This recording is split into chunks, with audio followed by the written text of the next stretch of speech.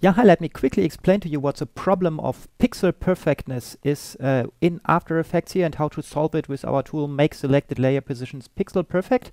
Uh, to show you it very clearly, I made here a very low resolution comp, just 50 times 50 pixels.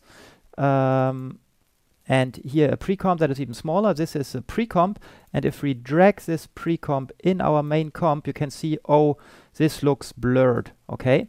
And if you select the layer and run the tool, you can see it shifts the layer to the side such that it's not blurred anymore. So it makes sure that every pixel of the image aligns properly with every pixel of the composition. Yeah, And you can see if we take a look here at the position, it's now at 24.5. And if we go back here to 24, it has this offset. And what the right position really is depends on both the anchor point and uh, the position. Yeah. So the anchor point here is at 12.5.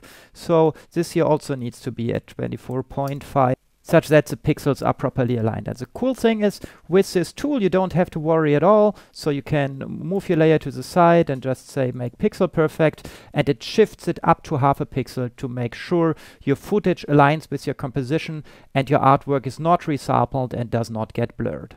That's all you need to know about this cool handy little tool that you find here in Automation Blocks. So since this is an Automation Blocks tool, of course you can always take a look at the implementation. So this is really the full source code, so to speak, how this tool is implemented.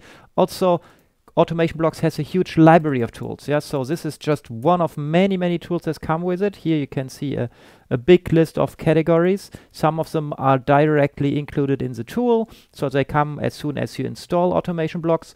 Some of them you have to download separately because they come from our community library. This is also for this Make Pixel Perfect tool here. It's part of our community library that we extend over time. That's Matthias from mamoworld.com and I hope you enjoyed this Automation Blocks for After Effects tutorial.